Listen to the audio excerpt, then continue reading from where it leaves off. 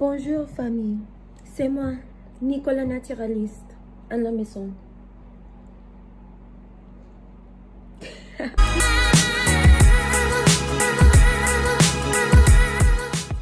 What's up y'all, it's Niko and today I wanted to try out this new segment I've been thinking about where I like really deep dive into natural hair issues, um, discussion topics, you know, spread some in, uh, education, some information, education. When I was first starting out on my natural hair journey, I did a lot of research. I did so much you know, not just going to YouTube and watching tutorials, but going online and learning about the actual, you know, scientific nature of textured hair, why certain things work, why certain things are really bad for your hair and that kind of thing. So that when I go out and I actually, you know, see things happening to my hair, to other people's hair, I'm able to relate it back to, you know, this background knowledge, this big bank of information I've just kind of gathered throughout the years. So here I am sharing it with you. Sharing is caring and knowledge is power. You feel me? So the topic for today is a little issue called protein overload. And she's a hoe. Straight up. Um, the way that I found out a pro protein overload was that I got it in my hair and I had absolutely no idea what it was. I got it with aloe vera, using aloe vera, and it was completely unexpected because anything that you see online, on YouTube, you know, in blogs, anywhere talking about aloe vera, all you hear is the praises. All you hear is all of the good things, all of the miraculous things that aloe vera can do for your hair, you know, why you should be using it, blah, blah, blah, blah, blah. Nobody told me that aloe vera, the plant aloe vera, carries a high level of a certain protein in it. And when I put it on my hair, um, I used it as a gel and so it was sitting on my hair from one wash day to the next wash day. I take a week between wash days. So it was sitting on my hair for a week. And for that whole week, my hair was just coated in this natural protein.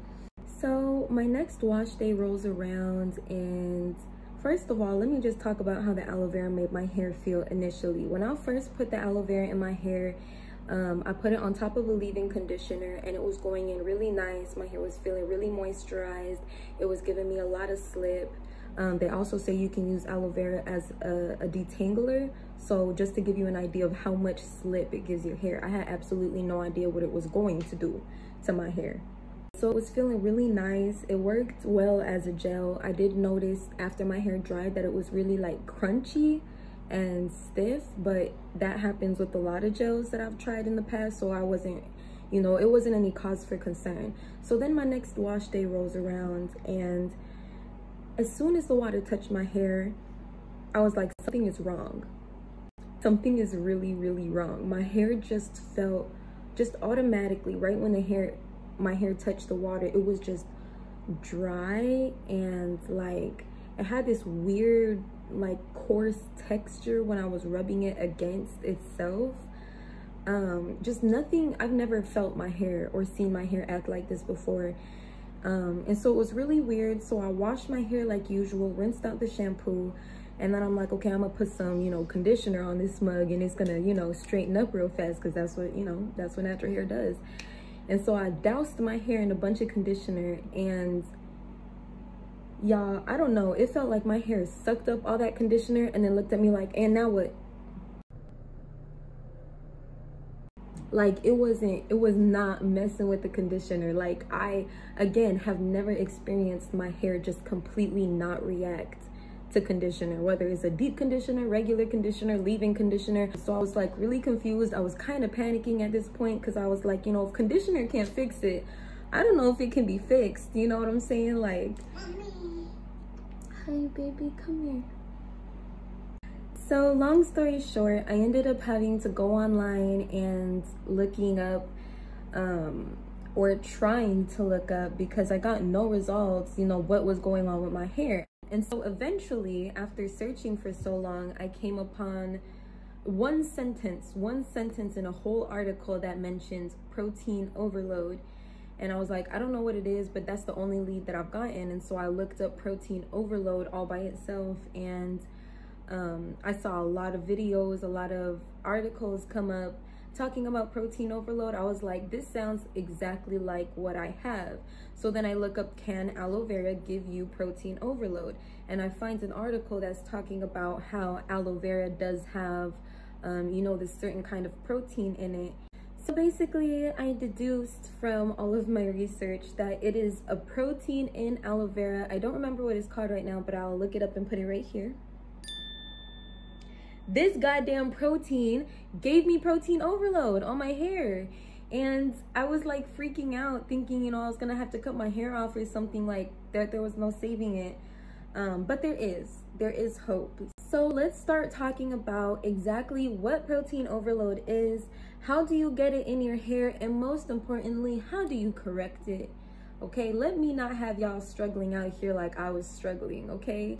So protein overload is exactly what it sounds like. It's when you load your hair up with too much protein and you start to experience adverse effects from that. Now, some signs that your hair is experiencing protein overload is that it feels very brittle and very dry. It feels like very fragile. Um, you'll you will experience like a lot of breakage. Your hair is snapping off. That's how brittle it is um, you'll notice that your hair doesn't have any kind of natural shine to it.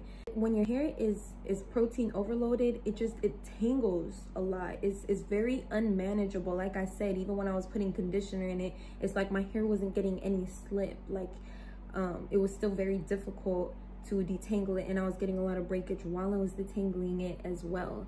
So a couple ways that you get protein overload is like I said, how I got it um, aloe vera and the proteins in aloe vera giving your hair protein overload. Rice water is another big one. That's a really popular, um, you know, treatment for natural hair that I see all the time. You can also get protein overload from just regular protein treatments like the ApHogee um, protein treatment is a really popular one, but any treatment that is designed to put protein in your hair can give you protein overload. That being said, at home treatments that use eggs or mayonnaise or other things with proteins in them, again, just be very careful um, about, you know, how long you're leaving these products in your hair, how much protein these products have in it and things like that. Another thing is that people who have low porosity hair are much more prone to getting protein overload.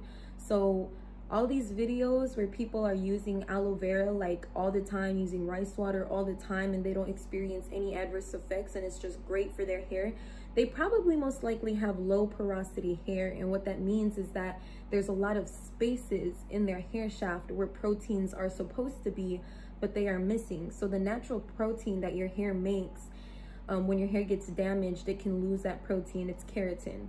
And when you know either brushing too hard using chemicals dyes um, even just being out in the sun too much uh, leaving your hair dry too much leaving your hair in a protective style too um, for too long.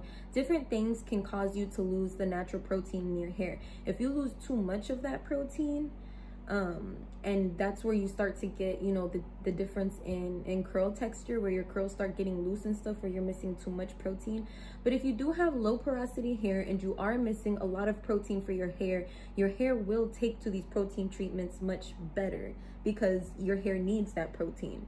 So if somebody with low porosity or high porosity hair had put you know aloe vera on their hair for a week like i did um, it could have been really beneficial for them. But because I just did not need that much protein in my hair, instead of that protein slipping into cracks and helping my hair out, that protein just laid on top of my hair shaft and coated hair that already had protein in it with even more protein. Hence all of the stiffness, brittle, dry, blah, blah, blah, blah, blah. So high porosity hair loves protein and protein treatments low porosity hair still needs protein but it doesn't need as much protein and it doesn't need um, you know the treatment just doesn't need to sit on your hair for as long. So if you are experiencing protein overload or you're trying to recover from it you really want to stay away from products that have protein in them not just straight up protein treatments but a lot of natural hair products um, have ingredients with protein in them. So certain ingredients you want to look out for are things like, um, you know, hydrolyzed collagen, quinoa protein, silk protein, um, you know, wheat, soy, keratin, oat flour, amino acids, um, all these things are, are proteins and they're added into hair treatments um, and natural hair products to help you. But, you know, if you're experiencing protein overload, you're going to want to check the ingredients on some of your hair products that you're using and make sure that you're not putting more protein into your hair. So just keep an eye out for those ingredients and make sure that at least they're not too high up on the list so that there's like a, if you can't completely avoid these ingredients, which they are in a lot of products, at least make sure that you're getting like the smallest dose possible. I will say when I was recovering from protein overload, it did take me a good like six weeks until my hair um, started feeling like closer to normal again. It probably took a full two months before my hair was completely like back to its original state. So first things first, of course, is stop using products that have protein in them. If you're trying to get protein out of your hair, sis, don't keep putting it in. So like I said, those ingredients that I listed before, um, make sure that your products aren't, um, you know, too high in those uh, ingredients and that you're not doing any protein treatments. Another thing is that you want to make sure that you're shampooing every time that you wash your hair. So like I said, I wash my hair once a week. So every time I washed my hair, I did shampoo, whereas sometimes I might co-wash um, and alternate co-wash and shampoo. But while I was recovering, you shampoo all of your hair, all of your hair, not just the roots or anything, all down your hair shaft. Um, and although it might sound counterproductive, especially because of the, the state that protein overload puts your hair in, this is actually going to help to wash away and break down that protein a little bit um, so that you can wash it out. Next is that you want to deep condition with heat. Emphasis on with heat. Now, I am an ardent advocate of using absolutely no heat on your hair. Um, when I was trying to get through my protein overload, I was doing my deep condition, but I was just wrapping my hair. Like I would put a shower cap on and then I would put like a plastic bag, like a shopping bag on top of that. And then I would put a hot towel around my head and that was the heat that I used. I used my own natural heat from my head and then the heat from the towel. If you are somebody who uses like um, hooded dryers and things, then by all means. Um, the point is to open the cuticle, to try and get your hair cuticle to open up so that the moisture from the deep conditioner can really penetrate the hair shaft and reach the hair that is being, um, you know, shielded by this protein coat that is over it. So deep conditioners with heat if possible. So lastly, you really want to make sure that your hair is super, super moisturized while you're trying to get through protein overload. Um, like I said, your hair can be left feeling very dry, very brittle, and it's very prone to breakage at this time. So by ensuring that your hair is as moisturized as it can be, you're gonna, um, you know, start to diminish those aspects and ultimately protect your hair from, you know, breaking off at a ridiculous amount. I do the LCO method. That's like my go-to for years is doing a leave-in and then a hair cream and then an oil on top of it to seal it. So a lot of people I know do the LOC method, which is just using the oil and then the cream on top. LCO works for me, but that method of using the leave-in, the cream, and the oil um, in layers with each other is very, very effective at keeping in moisture. So I highly recommend um, doing the LCO method while you're recovering from protein overload. Lastly, use protective styles. I know, I know. So many naturals just love, you know, the wash and go, wash and go life, you know, but when you're trying to recover from protein overload, especially since your hair is so prone to breakage at this time, you want to put your hair up and leave it alone. You want your hair to be in a style that is going to have like the least amount of manipulation because every time your hair moves, every time your hair slides against your clothes, your shoulders, um, every time you have to put your hair up at night or, you know, whatever you're doing um, to go to sleep, every time you touch your hair, you move your hair, you manipulate your hair, it is going to be, you know, very, very prone to breakage. And right now, uh, when you're trying to get through protein overload when your hair is dry and it's brittle and it's so prone to breakage like you need to just moisturize it as much as you can and put it up into that protective style to get through this protein overload. I mean put up up sis you know what i'm saying? Wear a wig wear a headscarf you know do a cute little halo braid something. Just get do something you know, some protective style to get that hair up and out of your way, get those ends tucked away, and so that it'll retain all that moisture that you just put into it. It was so bad. God, those are dark times, man. Those were dark times.